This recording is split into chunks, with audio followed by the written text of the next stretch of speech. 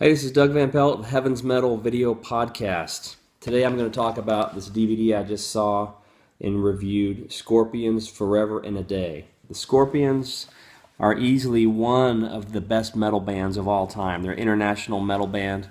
And this documentary is about their farewell three year tour that's been extended to keep carrying on. I saw them on one stop of the supposed farewell tour at the start of that thing, and I hope to see them one more time before they depart. But this uh, documentary covers the band's entire career, goes all the way back to the 60s. They were actually a band then. Um, they weren't that great back then. And the first era of the Scorpions had this guy named Uli Jon Roth. And I think he's one of the three best living guitar players alive.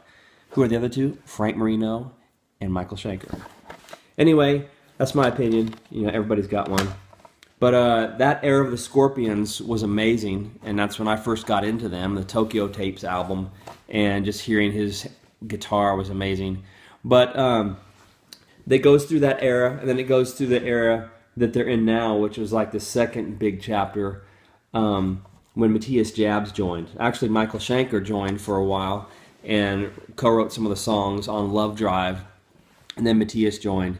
And this documentary kind of focuses on the Love Drive, Animal Magnetism, and Blackout era, which I think is their strongest era. And I think Animal Magnetism is probably their best album, except the, the two recent ones that I'll talk about if I get a chance to, because I'm like an evangelist for those two albums. They're just amazing. Anyway, uh, so this band um, has stayed true to their roots. They've avoided the trap of drugs, which is pretty cool. We didn't see members of the Scorpions die uh, from overdosing, which was awesome. Uh, they stayed positive in a negative world. That's what they did. Yep. Um, so this was a cool documentary. Had lots of concert footage and all, all that and whatnot.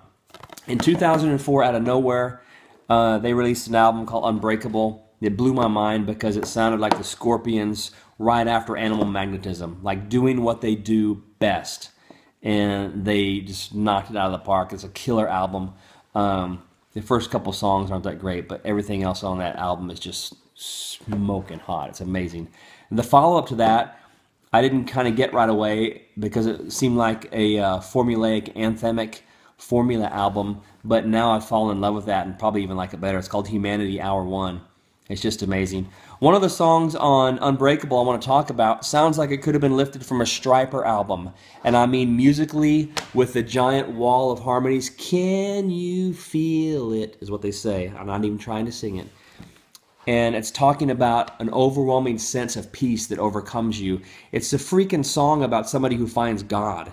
There, it's not blatant, it's kind of esoteric, so you can kind of draw your own conclusions, but that song could be on any Stryper album, lyrically or musically. Anyway, that's my little tidbit for now, the Scorpions. Um, I kind of gave up on the Scorpions in 83 when I came back to the Lord and their uh, Sting, uh, the Rock You Like a Hurricane song was just so disgusting to me. I just kind of wasn't too into that lyrically. So I kind of let them go by but uh, still always appreciated what they do. I think they're a great band. And there's my Scorpions rant. How about that? Till next time, see ya.